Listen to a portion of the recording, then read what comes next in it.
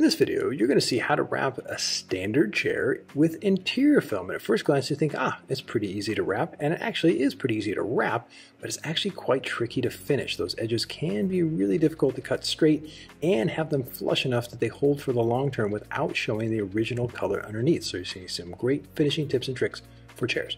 So right now, Andreas, he's one of the trainers for Cover Styl'. He's going to wrap it and always want to make sure you get the right measurement, not too much material, but enough that you have an excess bleed left to right because you definitely want to kind of hold on to it for certain points. Then it's all about cleaning. So spray a degreaser on a microfiber towel and be super thorough during this phase, especially on those edges, but never spray directly on the surface because it can put too much moisture, especially on the edge. And that's kind of exposed wood right now. If that sucks up any moisture, it's not good. And very important to put a coat of a primer on the side. This, in this case, is a solvent primer because the surface is sealed because the material is only going to the black, which is sealed. If this was being wrapped around to the wood on the side, then you'd use a water-based primer. So again, know your primers. Right now, he cut a piece of the backing paper off with a backing paper cutter because he wants to set a hinge at the top. So notice he gets just enough material to kind of get it uh, a little excess material at the top, make sure the material is even left to right.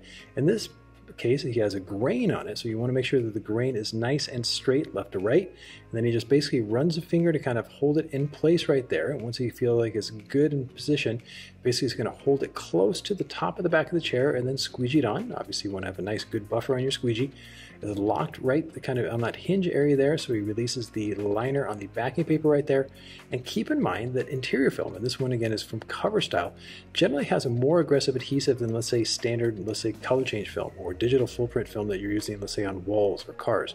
So you really want to make sure you don't pick up too much of the liner at one time and let it tack on the surface. And you can see that nice triangle shape and notice how he just kind of slices it out from the middle. So always kind of squeegee, not side to side per se, but kind of out from the middle and strokes, kind of follow that triangle shape. So again, you see the freehand kind of spreading the material out keeping that backing paper on and just really kind of making sure you feed that transition from the vertical to the horizontal. So very important to kind of feed it into that gap, be extra patient.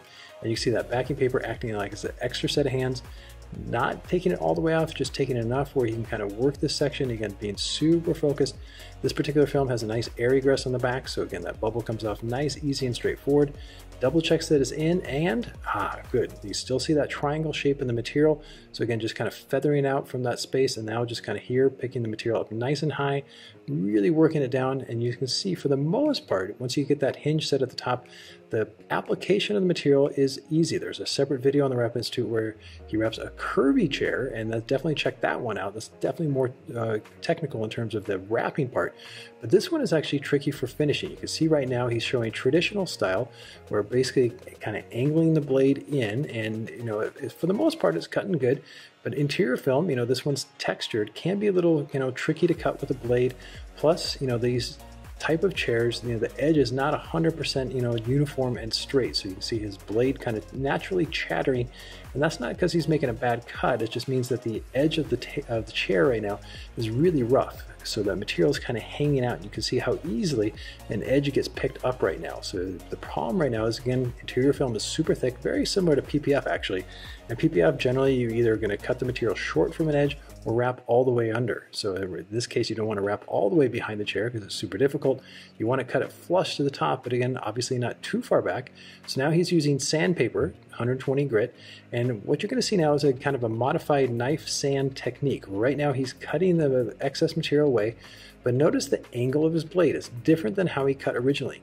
Instead of angling the blade slightly in, he's actually keeping his blade at a 90 degree angle. And this is actually creating a little bit of excess material right on the edge right now, but that's exactly what he wants. So again, quite a bit of material there, but now coming back in at a 45 degree angle, essentially the same angle that he cut the edge up on the other side, but he's now doing it with sanding paper right now. And because he's coming in with sanding paper, 120 grit with this nice holder, he's basically now getting a nice, really good smooth cut and edge uh, right now with the material, but he's not getting that kind of jagged cut because the sanding paper really kind of conforms to any kind of irregularities on the edge right now. So you get that nice, beautiful finish, and you don't have any of those jagged cuts from the blade. So again, this is a kind of a knife sandpaper combination, but it creates a really nice finish, especially on those corners, which can be notoriously tricky with interior film on chairs. So again, he slows down in the corner, being super, super focused right now.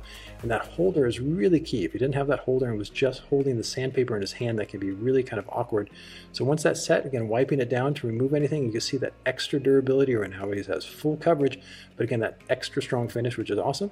And here you see the side with a knife only, not good for that long-term durability, so get that combination of knife, sanding paper, and you can really transform boring standard chairs with any type of interior film for a great transformation and long-term durability.